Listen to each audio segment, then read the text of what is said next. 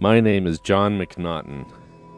I like to paint pictures that express how I feel about what's happening to America.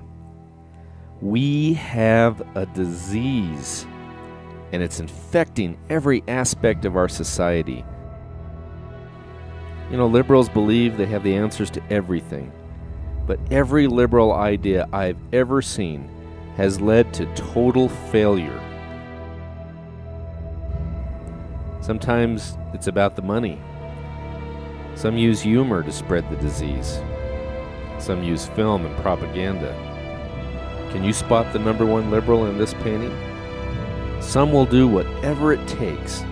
They'll tell you how much to drink, take away your guns, and kill unborn babies.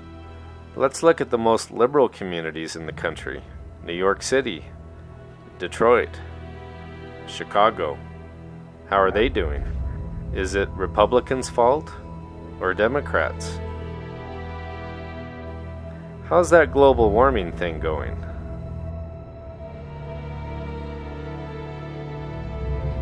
What if we could bring all the liberal ideas together and put them on a deserted island and quarantine them? I say let's do it and let nature take its course.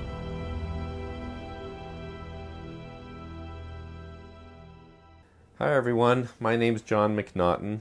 You can learn more about this painting by going to my website, uh, jonmcnaughton.com, and we have a really cool feature where it's an interactive page. You can go over the image with your cursor, and there's pop ups that will tell you more about each person in the painting, why they're there, and explains a little bit more.